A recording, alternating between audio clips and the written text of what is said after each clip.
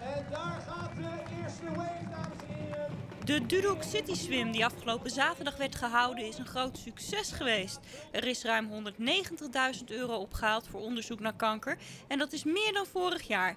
Ook waren er 100 deelnemers meer dan in 2015. Een van de initiatiefnemers van de Swim to Fight Cancer, Olympisch kampioen openwaterzwemmer Maarten van der Weijden, is trots op het succes. Ja, dat gaat heel erg goed. En je ziet ook dat het, eh, het succes van Dordrecht, dat het niet alleen maar zorgt dat het nu in Dordrecht nog groter is, maar je ziet ook dat het als een lopend vuurtje eh, verspreidt. Hè? Vorig jaar was het in Dordrecht en Den Bosch. En je ziet nu gelijk dat er in Delft, in Haarlem, in Horen, in Apeldoorn ook mensen opstaan die zeggen: Goh, wij vonden het in Dordrecht zo gaaf. Wij gaan het ook in onze eigen stad doen. Uh, en dan is de impact die je kunt hebben natuurlijk als een organisatie enorm groot. En dat is, uh, dat is bijzonder. En ik hoop dat dat lopende vuurtje nog lang uh, uit gaat breiden. Hoogtepunt van dit jaar was de komst van de kerstverse Olympische kampioenen Ferry Weertman en Sharon van Rouwendaal. Ze gaven het startschot en ontvingen de gouden speld van de zwembond. Ja, zeker. Er waren superveel mensen langs de rand om naar ons te zwaaien en om ons te feliciteren. Dus dat was, ja, dat was super, super leuk. Alleen het was een beetje raar om dit keer niet in het water te liggen, maar op een bootje te zitten. Uh, zeker met het weer uh, zou ik ook wel even in willen springen. Maar uh, nee, het is super leuk om juist een keer ook echt in beeld te zijn. Dus heel erg genoten. Maar het ging natuurlijk om de gewone zwemmers die stuk voor stuk een bijzondere prestatie neerzetten.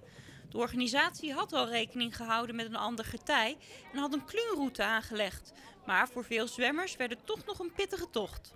Nou, ik heb vorig jaar ook meegedaan. Ik moet zeggen dat het uh, deze editie zwaarder was dan vorig jaar. Kwam dat? Ik denk dat de, de tijd dat ik gezongen heb, misschien ook de stroming of uh, iets in die geest.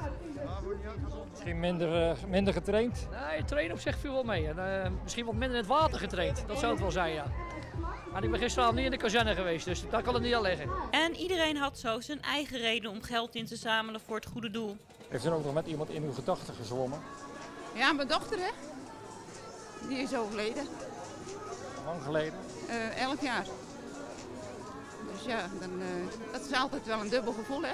Je, het, uh, je, je probeert dus om de, voor de ontwikkeling van nieuwe medicijnen, dat, dat, dat er dan toch eens uit, goed, uit goeds voorkomt. Mocht mijn kleinkinderen het overkomen, dat er dan toch nieuwe medicijnen voor zijn. En daar heb ik het hoofdzakelijk voor gedaan.